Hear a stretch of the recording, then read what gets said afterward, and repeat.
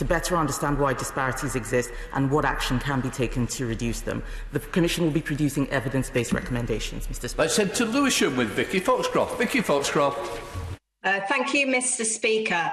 The Federation of Small Businesses' new report, Unlocking Opportunity, identifies a number of barriers faced by ethnic minority led businesses, which contribute more than 25 billion to the UK economy. Will the Minister raise the report's key recommendations with colleagues at the Treasury in particular, the setting up of a dedicated scheme to help EMBs access external finance, helping them to flourish and our local economies to thrive. Um, yes, um, as the Treasury Minister, I am going to be considering the findings of that report. So I thank the Honourable Lady for raising that. Baldwin.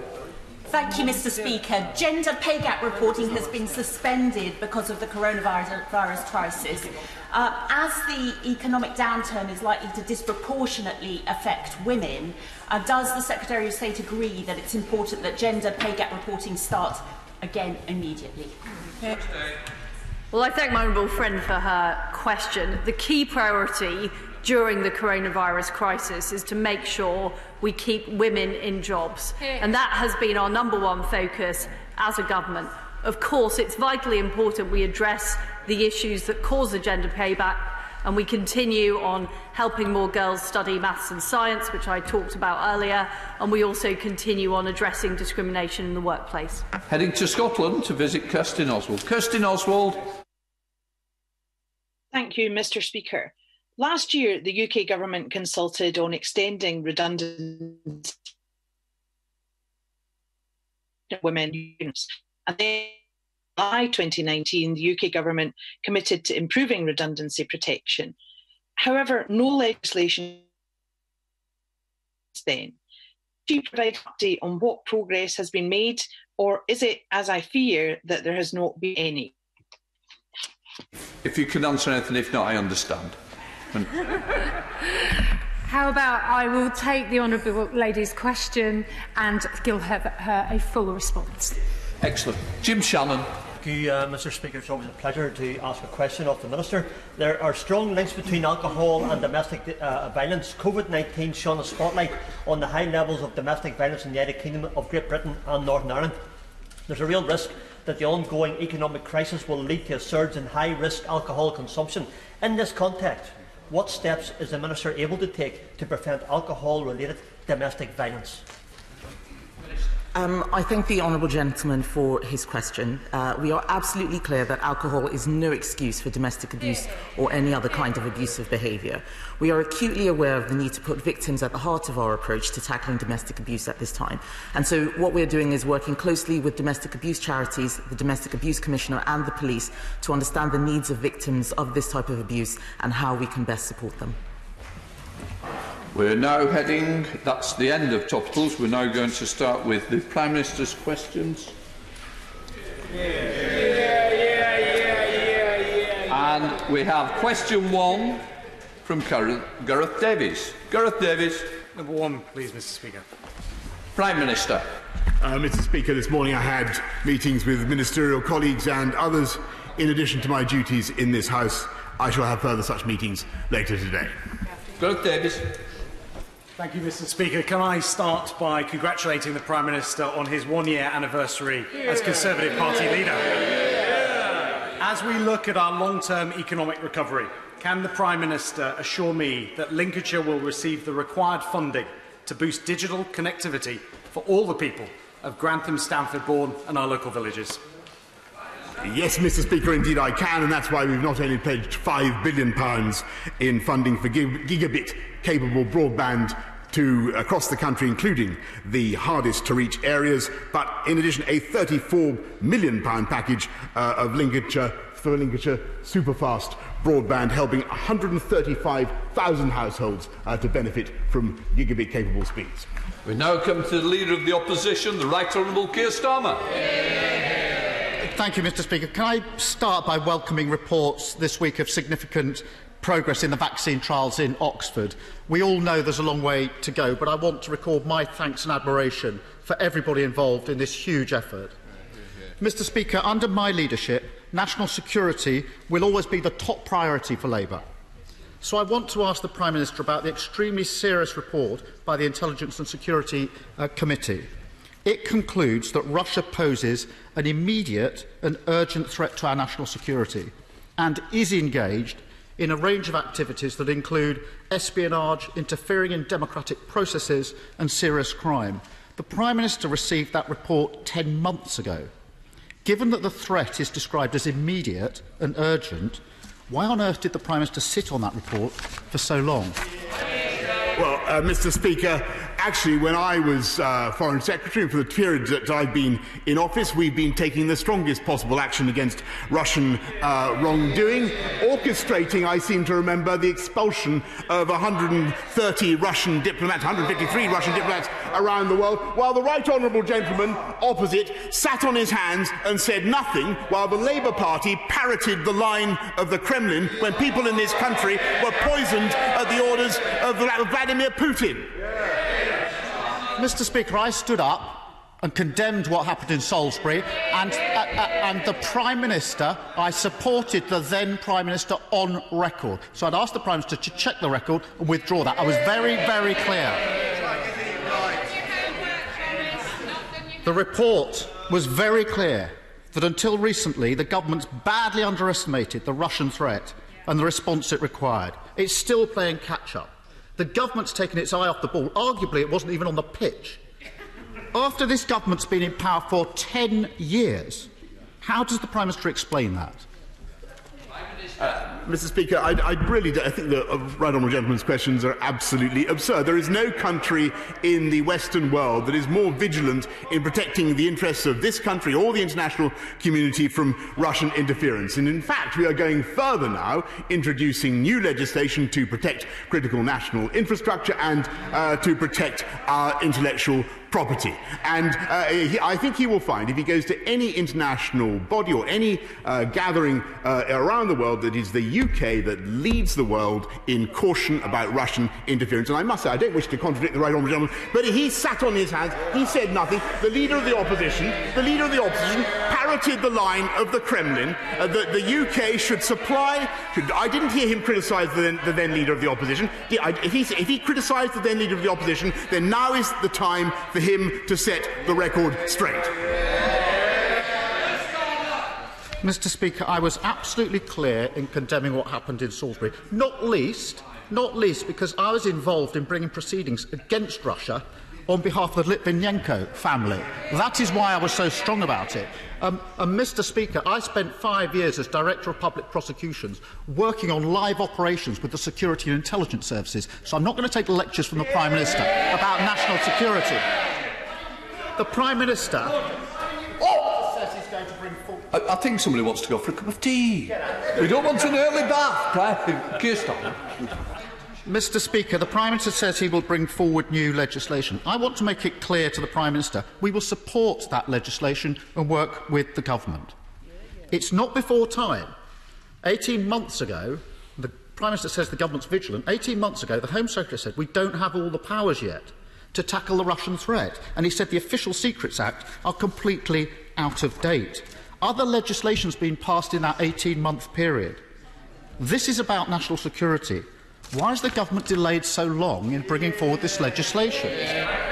Mr. Speaker, this government is bringing forward legislation, not only a new Espionage Act, not only new uh, laws to protect against uh, theft of our intellectual property, uh, but also a Magnitsky Act uh, directly uh, to counter individuals in Russia or elsewhere who transgress uh, human rights. And there's been no doubt what this is really all about, Mr. Speaker. This is about pressure from the Islingtonian Remainers who have seized on this, on this report to try to give the impression that the Russia, that Russian interference was somehow responsible for Brexit, Mr. Speaker. That's what this is, this is all about. The people of this, this country didn't vote to leave the EU because of pressure from Russia or Russian interference. They voted because they wanted to take back control of our money, of our trade policy, of our laws. And the simple fact is that after campaigning for Remain, after wanting to overturn the people's referendum uh, day in, day out, all the period in, when he was sitting on the Labour front bench, he simply can't bring himself to accept that. can I just gently say to the Prime Minister, as I did last time, he may have to go to Specsavers. The chair is this way, not that way. If he can address me, it would be a lot better. Keir Starmer. Mr Speaker, I see the Prime Minister's already on his pre-prepared lines. This is a serious question.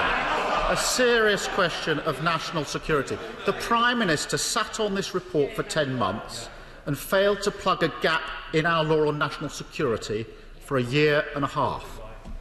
Mr Speaker, one of the starkest conclusions in the report is that the UK is clearly a target for Russian disinformation campaigns. The report also highlights that this is being met with a fragmented response across Whitehall and across the government. The report refers to this as a hot potato, with no one organisation recognising itself as having the overall lead. That's a serious gap in our defences. This is not about powers, it's about responsibility, Prime Minister. So how is the Prime Minister going to address that gap and make sure the UK meets this threat with the joined up, robust response it deserves? Uh, Mr. Speaker, there is no other government in the world that takes some more robust steps to protect our uh, democracy, to protect our critical national infrastructure, and to protect our intellectual property, as I have said, uh, from interference by Russia or by anyone else. And frankly, I think that everybody understands that these criticisms are motivated by a desire to undermine the referendum on the European Union, uh, the membership of the European Union that took place uh, last uh, in, in 20 2016, at the result of which he simply cannot bring himself to accept. A serious gap in our Official Secrets Act, laying bare for 18 months, and that's all the Prime Minister has to say about it. One way the government can seek to clamp down on Russian influence is to prevent the spread of Kremlin backed disinformation. Obviously, social media companies have a big role to play, but the report also highlights serious distortions in the coverage provided by Russian state-owned international broadcasters such as Russia Today. The High Court has ruled that Russia Today broadcasts pose actual and potential harm. Does the Prime Minister agree with me that it's time to look again at the licensing for Russia Today to operate in the UK? Yeah. Mr. Speaker, Mr. Speaker, I think this would come more credibly uh, from the leader of the opposition had he called out uh, the, his former, the former leader of the opposition when he took money uh, for appearing on Russia Today. I mean, Mr. Speaker, he protest, Mr. Speaker, he protested neither against the, leader, the, the, the former leader of the opposition's stance on Salisbury, nor against uh, his willingness to take money from Russia Today. Uh, he, he flip flops from day to day, Mr. Speaker. One day he's in favour of, uh, of staying in the EU, the next day he's uh, the next day he's willing to uh, accept Brexit. Uh, Mr. Speaker, the, the, leader of the opposition has more flip flops than Bournemouth Beach. Flip flops, Alexander Stafford. Thank you, Mr. Speaker. Last week, the party opposite bravely abstained on a vote that attempted to tie us into the EU indefinitely, further highlighting the increasing detachment of Labour from the old heartlands like Rother Valley. Can my right honourable friend, the Prime Minister, confirm that we on this side of the House remain fully committed to delivering our promises to the British people and to restoring our full economic independence on the 1st of January so the people of Thurcroft, Maltby, Dinnington and across Rother Valley get the Brexit bonanza and level up that we so deserve? Uh, Mr. Speaker, I certainly can give my honourable friend uh, that assurance. That's what the people voted for, and that's what we will deliver. Bring Keir Starmer back for one more question. Keir Starmer. Mr. Speaker, pre-prepared gags on flip-flops. This is the this, this is the former columnist who wrote two versions of every article ever published.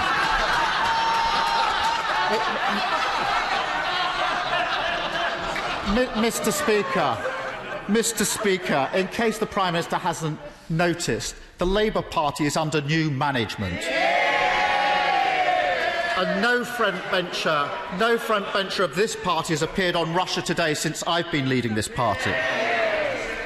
Finally, Mr. Speaker, I want to ask the Prime Minister about the appalling persecution of the Uyghur Muslims in China. We've all seen the footage of the Uyghurs being herded onto trains and heard the heartbreaking stories of forced sterilisation, murder and imprisonment. We support the Foreign Secretary, the Prime Minister and the government in their strong and clear condemnation of, Russia, uh, of China for this in recent weeks. What further steps will the Prime Minister take and in particular will he consider targeted sanctions against those responsible and will he lead a, a concerted diplomatic action with our international partners to make clear that this simply cannot be allowed to stand in the 21st century?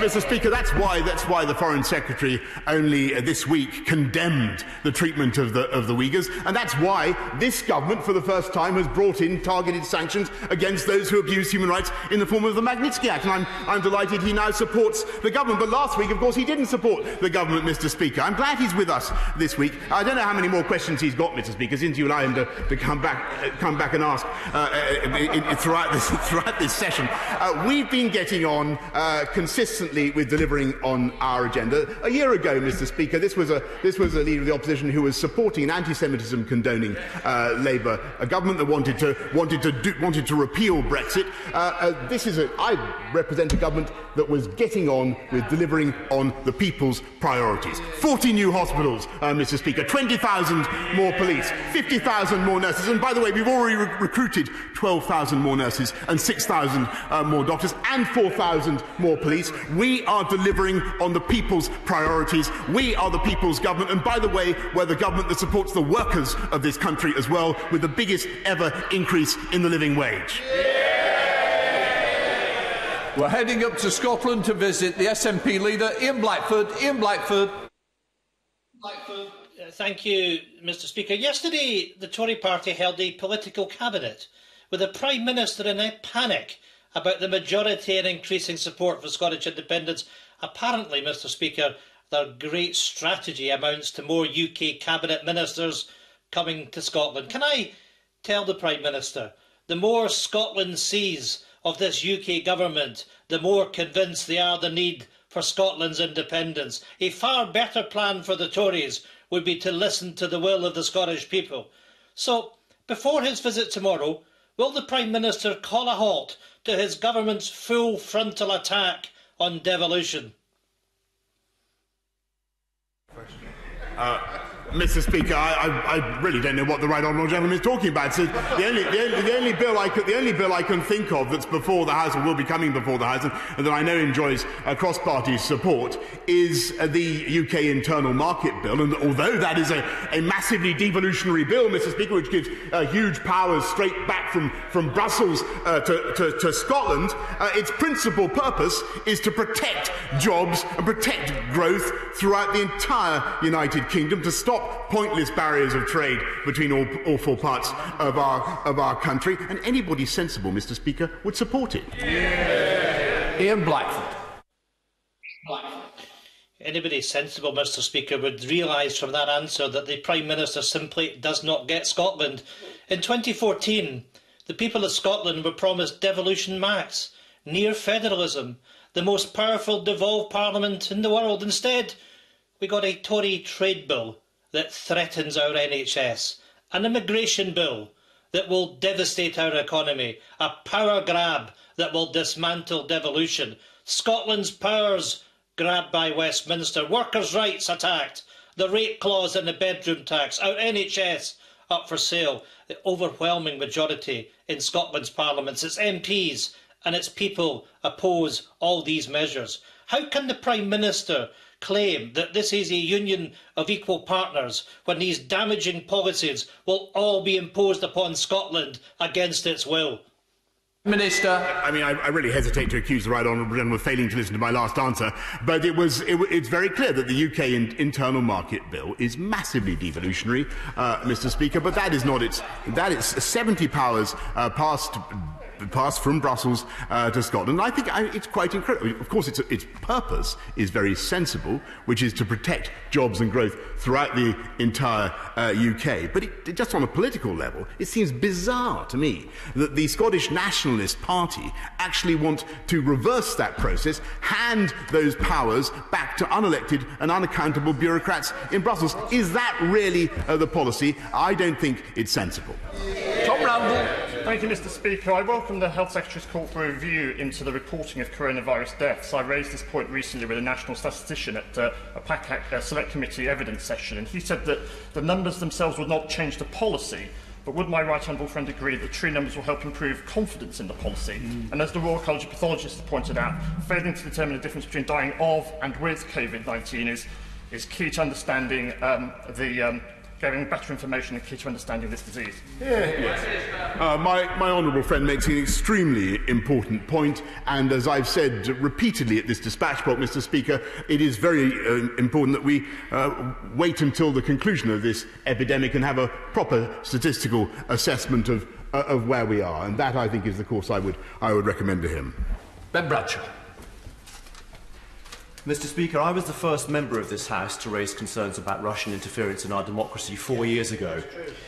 By blocking the publication of the Russia report before the election, on the grounds that the ISC committee has said were spurious, and then trying to fix the committee, isn't it abundantly clear that this Prime Minister has knowingly and repeatedly put his own personal and party interests before the national security of our country? Yeah.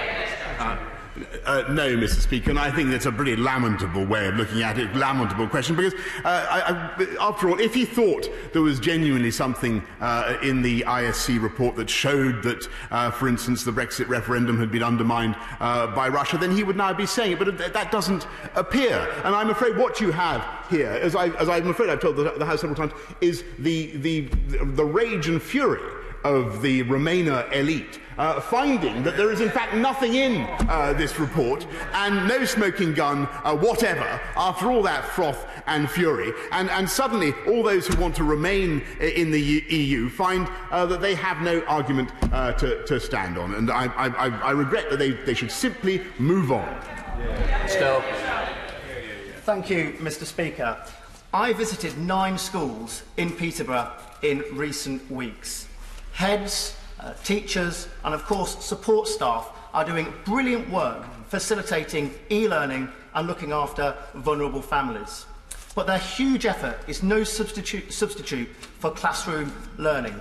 Does the Prime Minister agree with me that it's absolutely vital that we get children back where they belong, in the classroom, from September? I, I, I do indeed agree with that, Mr Speaker, and it will be a fantastic thing uh, to hear the Labour Party uh, stand up to their friends in the, in the unions and, and issue the same uh, instruction. I think that'd be a wonderful thing. Hardy. Thank you, Mr Speaker. The Social Market Foundation report identified Hull as the area facing the worst economic hit and the slowest recovery to COVID-19. Now, I have stood here in this place and called on the government for support for the caravan manufacturing, for Hull Trains, The Deep, Hull City Council, excluded young entrepreneurs and many others, and received an inadequate response from the government that fails to address the gravity of the situation Hull faces. What the Prime Minister needs to recognise is that you cannot level up by shutting down. So what new support will he give to prevent job losses in Hull West and Hessle? Uh, well, Mr Speaker, we've already given uh, the East Riding uh, of Yorkshire over 21 million to deal with the pressures of coronavirus. We've uh, supported 90% of, of caravan manufacturers uh, who she rightly supports with the, the furlough scheme. And uh, as she knows, we have not only the Kickstarter uh, fund, the £2 billion Kickstarter fund to help young people into work, but also the, the job retention, the furlough bonus scheme to, to retain people in their jobs as part of a massive package, £640 billion overall to get our country moving again and make sure that we bounce back stronger than ever before. Rob Butler. Thank you, Mr. Speaker. Uh, schools in Buckinghamshire have done a tremendous job in recent months balancing online uh, learning with physical classes for the children of key workers. Will my right honourable friend join me in thanking the teachers of the Aylesbury constituency? And will you also agree with me that it is right to have increased funding for schools, providing more money for all pupils, and so giving them the best prospects for their future? Uh, yes, Mr. Speaker, and I am proud that uh, we have uh, fulfilled our promise, our manifesto promise. We're levelling up school funding across the country so that uh, every uh, primary school pupil receives at least £4,000 per head, every secondary school pupil £5,150, and I pay tribute to all the teachers uh, and all the schools in his constituency for the excellent work that they've done in the last few months. Ben Lake. Mr Speaker, face coverings will become mandatory on public transport in Wales next Monday. Now, a zero VAT rating has been applied to most PPE since the 1st of May, but at present it does not apply to non-medical face coverings. Will the Prime Minister therefore extend the zero rating to these items so that members of the public, especially those on low incomes, are not financially penalised for following the rules? Yeah, yeah. Um, well, well, Mr. Speaker, uh, we, we, we, as, as, he, as, the as the honourable gentleman knows, uh, and I thank him very much for his for his question, uh, we, we have removed uh, VAT from all uh, from all PPE, uh, including uh, VAT on on face masks that, uh, as everybody knows, can protect uh, from infection and that removed the burden of VAT in, in care homes, NH trusts, and, and for key workers. Uh, for, for, for homemade uh, face masks, those which meet the PHE guidance uh, will be covered and will continue to be covered uh, by uh, the zero rate. But I'm happy to ask the relevant minister to, to write to him to, to, to clarify the entire position. Liam Mellon.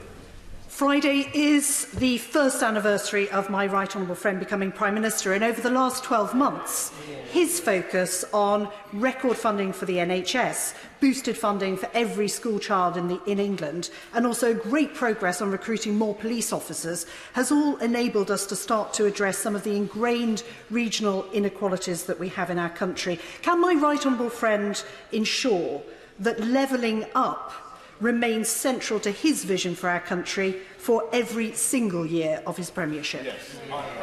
I thank my right honourable friend, and I can absolutely give her that uh, guarantee that uh, in the current circumstances, uh, now is the time to, to double down on, on levelling up, Mr. Speaker, and that's what we're, we're going to do. And that's why we're rolling out a colossal programme of investment in, in infrastructure, uh, massive investments in our, in our public services, and fantastic new technology, because that is the way to give every part of our country the opportunity to realise uh, its potential. Robinson. Thank you very much, Mr. Speaker. On the 10th of July, the Prime Minister met Bethany from Crewe during People's Prime Minister's questions, where she took the opportunity to raise the campaign for the extension of maternity leave as a direct consequence of COVID-19. And during that session, the Prime Minister not only undertook to look at the petition, but understood the significant ramifications lockdown has had on mums and parents who have missed out on childcare support, on health visitor access, on the availability of building bonds with wider family members and the community. Ten days later, can I ask the Prime Minister, has he considered that petition? And with recess fast approaching, Can he give an indication as to when the government will respond to the necessary request to get this precious time back for mothers and families? Yeah, yeah. Well, well Mr. Speaker, I, I, thank the honourable gentleman for his question. I, rem I well remember Bethany and her and her question, and I know how difficult this uh, problem is for many people. And uh, I can certainly uh, commit to him uh, to look at it in detail and see what we can do. And I'll be I'll, I'll write back to him. Caroline. Thank you, Mr. Speaker. My right honourable friend knows better than most that COVID has an unequal impact on the BAME community, on the elderly, on men, and indeed on the overweight. Can he please update the House on the steps being taken across government to empower people away from fat shaming and away from an over reliance on BMI, which we all know is an inaccurate measure for individual well-being, and let us know what he's in, he is doing to enable people to take back control of their own well-being. Uh, well, I, I, thank my right honourable friend for the, for the, extreme tact with which she expressed her, uh, her, her, question, and uh, just, uh, uh, but she makes a very important point because I'm afraid that uh, there are significant comorbidities associated uh, with, with COVID, and we do need as a country to address uh, obesity and the, the sad fact that we are, I'm afraid, Mr. Speaker, considerably fatter than most other European nations apart from the, the Maltese, as far as I can tell. And uh, we will be announcing a strategy uh, to help, oh, no disrespect to, uh, to Malta, Mr. Speaker, that's what the statistics uh, told me. We will be bringing forward a strategy which I hope will conform with my right honourable friend's strictures. Clive Betts. Thank you, Mr Speaker. Uh, I don't know whether the Prime Minister's had a chance yet to read the uh, report uh, commissioned by the Ministry of Housing, Community and Local Government into the standard of homes delivered under um, permitted development. That report found properties with no windows, that three-quarters of the properties didn't meet the national space standards, and I quote from the report, studio flats of just 16 square metres were found in a number of different PD schemes. To put it in context for the Prime Minister, 16 square metres is just about the size of the base of the ministerial limousine which he gets driven around in each day. Will the Prime Minister now change the rules and ensure that in future we never again allow properties to be built, slums to be built, where people are asked last to live in a space which is as small as his ministerial car? Yeah. Uh, well, Mr. Speaker, I was proud when I was Mayor of London to change the London plan so as to ensure that we went for Parker Morris plus 10 uh, for our space standards, and we will ensure that we not only build back better, uh, that we big, build back more beautifully, but that we also give people the space they need to live and grow in the homes that we will build. Shrug Garney. Thank you, Mr. Speaker. As the Prime Minister takes a well earned staycation, will my right honourable friend mind if I suggest some holiday reading? How Innovation Works by Matt Ridley will give new ideas how we recover from COVID. The Happiness of Blonde People by my dear friend Elif Shafak, who writes about our stories of immigration and the fragility of belonging. And finally, as the MP for the Hundred Acre Wood, it's never too early to read Winnie the Pooh to Wilfred. And as Pooh said, you are braver than you believe, stronger than you seem, and smarter than you think. Sage advice for children everywhere from Wealden. Well, well, I, I think that's wonderful advice from my, my right honourable friend, which I will, I will, I will take to heart. And uh, I, I look forward to, to joining her for a game of, uh, of, of Poohsticks in, uh, in, the, in the, in the 100, uh, 100 acre wood. And wouldn't it be a wonderful thing, Mr. Speaker, if the party opposite abandoned the spirit of Eeyore that currently uh, seems, to, seems to envelop them? Rachel Hopkins. Thank you, Mr Speaker. Tonight I will be supporting Luton Town FC, who are fighting for their life in the Championship. Although businesses across Luton South are doing the same. If Luton needs to go back into lockdown, will the government introduce targeted financial support so local people can afford to adhere to health guidance? Yeah. Yeah yes, indeed, Mr. Speaker, and I, I thank the, uh, the, the local authorities in, in Luton. The people in Luton obviously are working very hard to ensure that uh, they contain the epidemic in, uh, in Luton. As, as, as local authorities are doing uh, around the country, we are supporting them, as she knows, uh, with uh, £3.7 billion pounds, uh, uh, of investment, uh, as well as the £600 million pounds, uh, in, for the infection fund, and, uh, and, and further funds, uh, 300 million to support local track and trace. But if, of course, if local communities do have to go back into lockdown, uh, we will take steps uh, to support them as well. Gagan Mohindra. Thank you, Mr Speaker. Uh, I am wholeheartedly in support of this government's plans to level up our country and build, build, build. Many of my constituents are concerned, however, about a proposed housing development in Chorleywood. Whilst it is important that we build more affordable homes, This cannot come at the expense of our beautiful countryside. Can the Prime Minister tell me how the government will balance the obligations local authorities have to build housing under local plans with protection for the Greenbelt? Yeah, uh, uh, of course, Mr Speaker, and I, th I thank my honourable friend very much for his question because it allows me to, to point out that there is massive opportunity to build uh, back better to build back better on brownfield sites. And that is what we should prioritise, and that is certainly uh, what we will be telling uh, local authorities. Let's head to Scotland to the Deputy SNP leader, who is audio only. Kirsten Oswald. Thank you, Mr Speaker.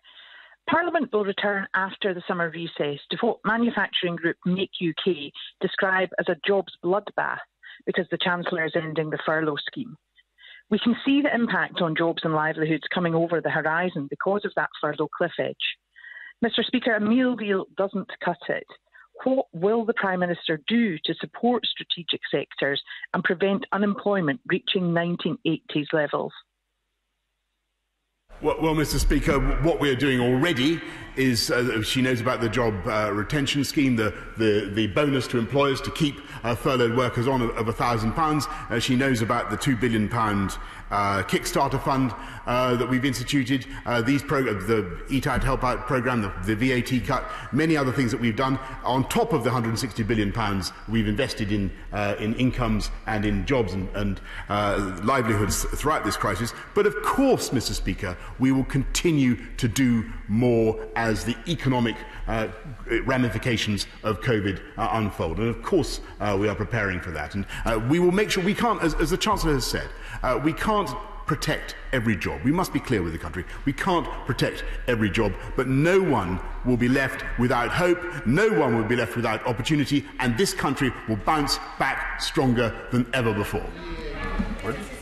Thank you, Mr Speaker. St Mawes in my constituency was recently placed first in Which's survey of the best coastal destinations in the UK Falmouth, a coastal town, constantly punches above its weight with very little. Can my right honourable friend confirm is, that the government is looking at further financial measures to help the coastal towns that have been hardest hit uh, in their time of need? Prime Minister. Uh, yes, I indeed, indeed I can, Mr. Speaker. I thank my honourable friend, and I can tell her that uh, we're funding 178 projects throughout England through uh, the 180 million pound Coastal Communities Fund, and Truro will receive at least 500,000 pound uh, from the Towns Fund this year to support the high street and local community. Layla Mr Speaker, as chair of the all-new parliamentary group on coronavirus, we are leading a cross-party rapid inquiry to make sure that we've learned the lessons from the UK government's handling of this pandemic before a second wave. We've had over 900 submissions so far, including those from bereaved families, those from who have long COVID, and also professional bodies like the BMA and the NHS Confederation. We will be releasing recommendations as we go throughout recess. I simply ask, would the Prime Minister take these recommendations seriously with, with the view to acting on them when we come back in September? So I will be very happy to look at uh, whatever her committee produces. Order. I have a short statement to make about select committees. On Tuesday, the 24th of March, the House passed an order allowing for virtual participation in select committee meetings and giving chairs associated powers to make reports. I was given the power under the order to extend it, if necessary, on Monday, the 8th of June. I announced an extension till Thursday the 17th of September. I can notify the House today that I am no further extending the order until Friday the 30th of October. Order, in order to allow the safe exit of honourable members participating in this item of business and the safe arrival of those participating in the next, I am now suspending the House for three minutes. Order.